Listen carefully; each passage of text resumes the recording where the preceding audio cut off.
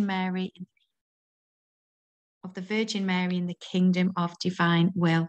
The very last day of, of Mary's special month, the very last day of the lessons, and the absolute accumulation of this fast track way into divine will, the final day, which is the Virgin Mary's assumption into heaven. So, what an amazing day.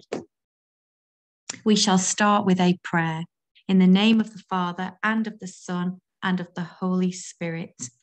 Amen. I confess to Almighty God and to you, my brothers and sisters, that I have greatly sinned in my thoughts and in my words, in what I have done and in what I have failed to do, through my fault, through my fault, through my most grievous fault. Therefore, I ask Blessed Mary, ever Virgin, all the angels and saints, and you, my brothers and sisters, to pray for me to the Lord our God. Jesus, with the dawn of each new day, through your dearest Mother Mary, I renew my acceptance of this gift and I thank you with all my heart and soul. May I live every moment in your divine will. Jesus, I desire to enter into you, be one with you, and I take what I find in you Jesus, I find in you my own life, the lives of everyone from Adam to the last one to be created, which you have perfectly redone in your divinity. I offer them to the Father with you for his glory and a perfect return of love. Amen. My Jesus, in your loving providence, you've allowed us to learn that your kingdom is now coming on earth. We can enter into this kingdom.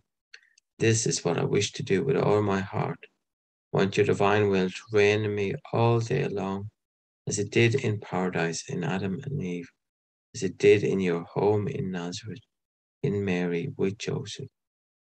I want your divine will to reign in me as it did in Louisa, the firstborn in the divine will in these times. I want you to animate all that I do, think my thoughts, speak my words, and do my actions. Want the divine will to have complete freedom in my humanity so that at every moment of this day and night, your holy will may be done in me. Give you all the love, adoration, praise, thanksgiving, honor, glory, and reparation on behalf of the human race, especially in behalf of those who do not yet know they can enter into the kingdom of your divine will. Amen. Ever holy and indivisible Trinity, I adore you profoundly I love you intensely. Thank you perpetually for all in the heart of all. Amen. Daily prayer to the Heavenly Queen for the month of May. Immaculate Queen, my Heavenly Mother, I come upon your maternal lap as your dear child to abandon myself in your arms and to entreat you with the most ardent sighs in this month consecrated to you, the greatest grace of all. May you dispose me to live in the kingdom of the divine will. Holy Mother, as the Queen of this kingdom, dispose me, your child, to live in it, so that it may no longer be deserted, but filled with your children. I entrust myself to you, my sovereign Queen, that you may guide my steps into the kingdom of the divine will. Held tightly by your maternal hand, guide my whole being to live the unending life of the divine will. May you be a mother to me, and I shall offer to you, my mother, my own will, so that you may make it completely submissive to the divine will.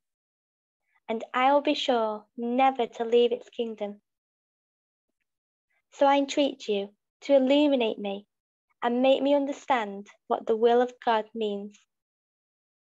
Hail Mary, full of grace, the Lord is with thee. Blessed art thou among women, and blessed is the fruit of thy womb, Jesus. Holy Mary, Mother of God, pray for us sinners now and at the hour of our death. Amen. Daily aspiration of the month. In the morning, at midday, and in the evening That is three times a day. Let us climb upon the lap of our heavenly mother and say, My mother, I love you. Love me too. Increase in my soul the will of God. Grant me your blessing also, so that I may do all my actions under your maternal gaze. Day 31 The Virgin Mary's Assumption into Heaven. My dear Heavenly Mother, I am back in your maternal arms, and as I look at you, a sweet smile appears on your purest lips. Today you are rejoicing, and it seems as if you wish to confide something yet more surprising to me, your child. Holy Mother, I entreat you to touch my mind and purify my heart with your maternal hands, so that I may understand your holy lessons and put them into practice. My dearest child, today your mother rejoices. I wish to tell you of the events surrounding the day in which I finished accomplishing the divine will on earth and made my flight to heaven. There was not in me one breath, heartbeat, or step in which the divine fiat did not discover its complete act.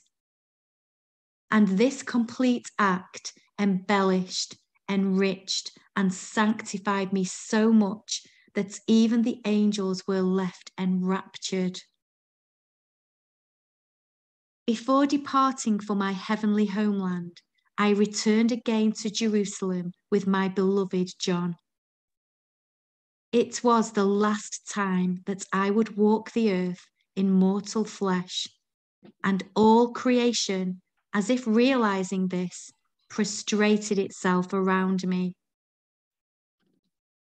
As I passed by, all creation, from the fish of the sea to the tiniest bird, wanted to be blessed by their queen. I blessed them all and extended to them my last goodbye. Then I arrived in Jerusalem and, withdrawing into the little home where John had brought me, I enclosed myself in it, never to leave again.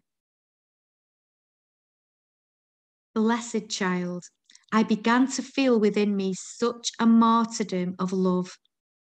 My love, inflamed by the ardent yearnings to reach my son in heaven, so consumed me that my human nature fell ill with love and experienced intense deliriums and pining of pure love. Because my human nature was conceived without sin and lived completely in the divine will, the seed of natural evils was not in me. Thus, I experienced neither physical illness nor the slightest malady. And if I experienced so many sorrows, they were all of the supernatural order for such sorrows provided me with the occasion to render fruitful my maternity and to conquer many of my children. They became honours and triumphs for your heavenly mother. Do you see then, dear child, what it means to live in the divine will? It means to lose the seed of natural evils that produce not honours and triumphs, but weakness, misery, and defeats. Therefore, dearest child, listen to the last words of your mother, who is about to make her flight to heaven. I cannot leave for heaven happy if I am not certain that my child will be safeguarded. So before departing, I now wish to bequeath to you my testament, leaving you the dowry of that same divine will that your mother possesses, and that enriched me with so much grace that I became the mother of the Word, the lady and queen of the heart of Jesus, and the mother and queen of all creatures. Now, dear child, this is the last day of the month that is consecrated to me. I spoke to you with great love of what the divine will wrought in me, of the great good it can do, and of what it means to let oneself be dominated by it. I also spoke to you of the grave evils of the human will. Do you perhaps think that my lessons were a simple narration? By no means. When your mother speaks, she desires to enrich you. So it is with ardent love I spoke to you, and in each word I spoke, I bound your soul to the divine fiat and prepared you for you the dowry with which you might live enriched, happy, and endowed with a divine power. Now that I am about to leave, accept my testament. May your soul be the paper on which I write, with the gold pen of the divine will, and with the ink of the ardent love that consumes me. The testimony of the dowry I leave to you. Blessed child, assure me that you will never again do your own will place your hand on my maternal heart and promise me that you will enclose your will in my heart, so that no longer feeling your will, you will not have any occasion to do it. And I will bring your will to heaven with me as the triumph and conquest of my child. Dear child, Listen to the last words of your mother as I die of pure love. Receive my last blessing as the seal of the life of the divine will that I leave in you, which will form your heaven, your sun, and your seas of love and grace. In these last moments, your heavenly mother desires to inundate you with love and pour herself out in you and I do so in order that in your last words you may tell me that you prefer to die and make any sacrifice than to do one act of your own will.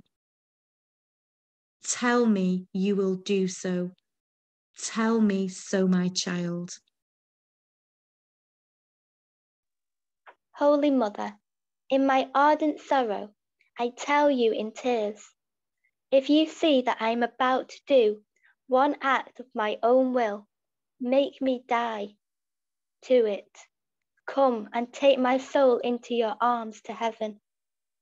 And from my heart, I promise you, I vow to never ever do my own will.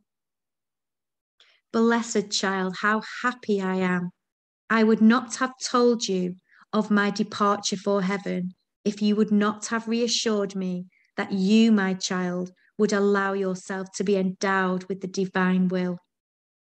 Be certain that from heaven I will not leave you. I shall not leave you as an orphan, but I will guide you in all things. From your least to your greatest needs, all you have to do is invoke me, and immediately I will come and offer you my motherly assistance. Now, dear child, listen closely to what your tender mother wishes to tell you. I was already ill with love. In a prodigious way, the divine fiat consoled the apostles and me as well by allowing all the apostles except one to surround me as I was about to make my flight to heaven. In acknowledging that these were my last moments on earth, all experienced heartache and wept bitterly, and I consoled them. In a special way, I entrusted to all of them the nascent Holy Church and imparted my maternal blessing to them that conveyed to their hearts the grace of paternal love towards souls. My dear son, who could no longer be without his mother, paid me continual visits by going back and forth from heaven to earth. As I breathed my last out of pure love in the endless sea of the divine will, my son received me in his arms and took me to heaven among the angelic choirs who praised me as their queen. I can say that heaven emptied itself to come to me, and everyone in heaven celebrated. In gazing at me, all remained enraptured and with one accord exclaimed, Who is she who comes from the land of exile, completely immersed in her Lord, all beautiful and all holy, bearing the Queen's scepter? So great, so great is she that the heavens have lowered themselves to receive her. No other creature has entered these heavenly regions so adorned so striking and so powerful. Indeed, she has supremacy over all. Now, my child, do you wish to know who she is, to whom all heaven sang hymns, and who caused all heaven to be enraptured? It is I, she who never did her will the divine will abounded in me to such an extent that it extended in my soul the most beautiful heavens, the most refulgent suns, along with seas of beauty, love, and holiness, with which I could administer light to all. To all I could administer love and sanctity while enclosing everything and everyone within my heavenly soul. All this was the work of the divine will operating in me. The divine will accomplished in me the great prodigy whereby I was the only creature to enter heaven with the kingdom of the divine will established in its soul. Now, in gazing upon me, the whole heavenly court stood amazed. For in beholding me, they discovered the heavens, and in gazing upon me again, they discovered the sun. And unable to take their gaze away from me, they discovered more deeply within me the sea, as well as the clearest earth of my humanity, adorned with the most beautiful flowerings. And enraptured, they exclaimed, How beautiful she is! She has centralized everything within herself. In her, nothing is lacking. Among all the works of her Creator, she is the only complete work of all creation. Now, blessed child, this was the first feast of the divine will celebrated in heaven to honor the very many prodigies wrought by the divine will within a soul. Therefore, upon my entrance to heaven, the whole heavenly court celebrated all the beautiful and great things that the divine fiat can do within a soul. Since then, this feast has not been repeated. And this is why your mother ardently yearns for the divine will to reign in souls in an absolute manner. I yearn for souls to allow the divine will to repeat in them its great prodigies and its stupendous feasts. Mother of love, sovereign empress, from heaven in which you gloriously reign, turn your merciful gaze to heaven, to earth, and have pity on me. Oh, how I long for my dear mother, as my life is empty without you. Indeed, without my mother, Everything in my life is unstable. So do not leave me halfway along my journey, but continue to guide me until all things in me have converted into the will of God, so that, so that it may establish its life and its kingdom. Today, to honour me, recite three glorias to the most holy Trinity, to thank God in my name for the great glory he gave me when I was assumed into heaven, and ask me to come to assist you at the moment of your death. Heavenly Mother, enclose my will within your heart and infuse within my soul the Sun of the divine will.